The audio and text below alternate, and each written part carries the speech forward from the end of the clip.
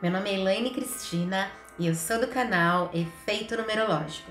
E hoje estou aqui mais uma vez com, trazendo um vídeo de arquétipo para vocês. Hoje eu vou falar do arquétipo do unicórnio. Se você quiser saber como que esse arquétipo pode ajudar você, fica com a gente até o final do vídeo. Mas antes, né, como sempre, vou pedir a gentileza para você que ainda não se inscreveu no nosso canal, se inscreva, clica no sininho para receber as notificações dos próximos vídeos e compartilha com uma pessoa especial que você sabe que gosta e de repente está precisando de um arquétipo como esse, né? Bom, sem mais delongas, vamos lá, né? É, para você que está caindo de paraquedas e não sabe o que, que é arquétipo, eu vou deixar aqui no card é, o link, vou deixar na descrição também é, o link do vídeo que fala é, é os piores objetos é, para se ter em casa. Tem parte 1, parte 2 e lá no parte 1 eu explico é, por que, que é o arquétipo, por que, que ele funciona, quem fala sobre isso, né? De onde surgiu esse assunto e por que, que ele funciona, tá? É, e para quem já tá, já tá acostumado aos arquétipos, já sabe que todo arquétipo tem um lado luz e um lado sombra. E a gente sempre começa falando do lado luz, né? O arquétipo do unicórnio. Eu vou deixar a imagem aqui para vocês verem, né? É, a primeira característica positiva é que ele aumenta a nossa frequência. É, é um arquétipo de uma alta frequência energética, de, de alegria, de calma, de tranquilidade, né? Então, quando você se conecta com a energia do unicórnio, você também vai elevar a sua frequência. É o arquétipo do amor incondicional, quando você, se você também usa e você consegue se conectar com o arquétipo, você vai espalhar amor vai sair. É, é amor no sentido universal, amor fraterno. Você vai ter compaixão pelas pessoas, você vai olhar para as pessoas de um modo geral com olhos de amor, com um sentimento elevado também, tá? É um arquétipo de magia, faz você, tá? Tem o encantamento, né? Do unicórnio, é, é, um arquétipo de encantamento, ele também aumenta a nossa autoestima, deixa a autoestima elevada, de elevação espiritual. Você se conectando com essa frequência, você pode ter acesso aos seus mentores, a seres de luz, conecta você mais ainda com o mundo espiritual. Ele é um arquétipo de sensualidade, é um arquétipo feminino de sensualidade. Então, para as mulheres, né, que o homem também pode usar, mas para as mulheres, ele aumenta a nossa feminilidade, deixa a gente mais feminina, mais sensual. Você vai despertar olhares por aí por causa do seu jeito ali mais sensual de ser, né? A imaginação, imaginação, criatividade, te coloca num mundo de fantasia, né? É, também são outras características positivas do unicórnio. Sorte, tem muitas pessoas que relatam que ganham presentes, ganham em jogos é, depois que passam a utilizar esse arquétipo, né? É, e é um arquétipo de cura. Eu lembro que quando eu fiz, acho que é um ano atrás, um ano e pouco, eu fiz o vídeo da cobra.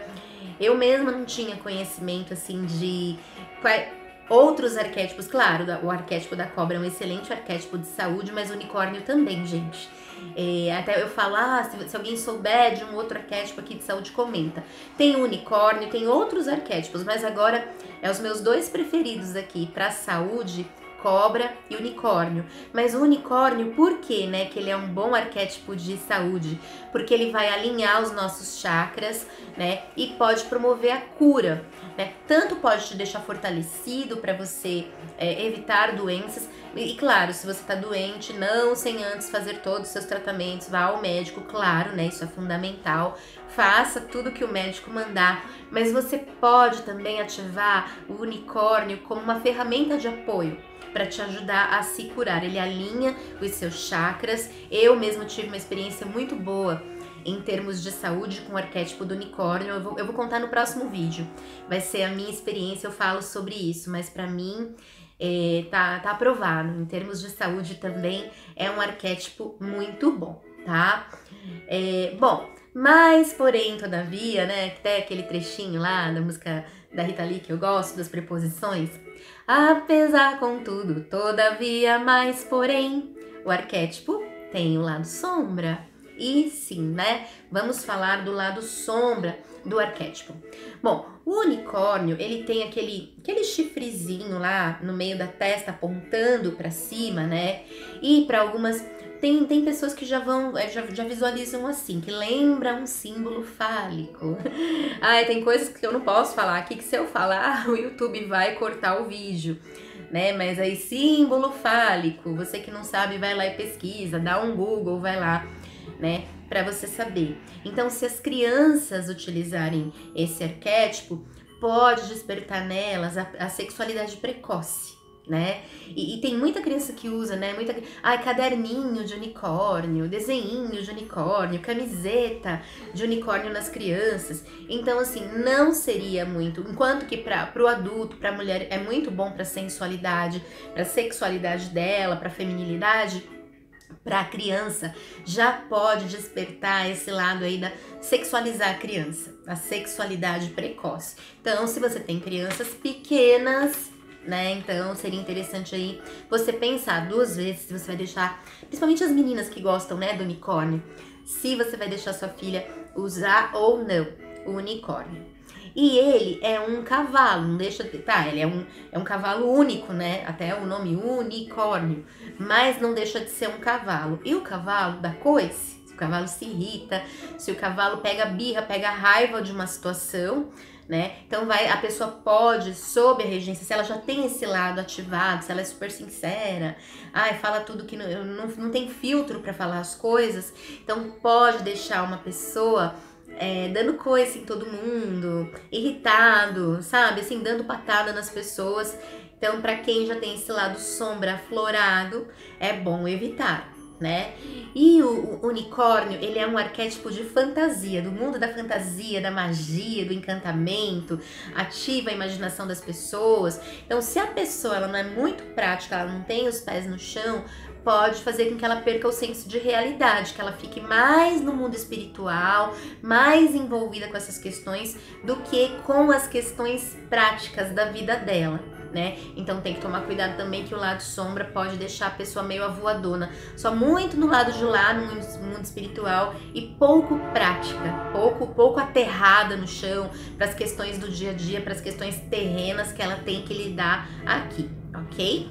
Mas, gente, é um arquétipo bom, é bom para saúde, é bom para questões de espiritualidade, né? Traz todo esse lado luz aqui que eu falei para vocês né? E para o vídeo não ficar muito comprido, eu percebo que as pessoas gostam de vídeos mais curtos, né?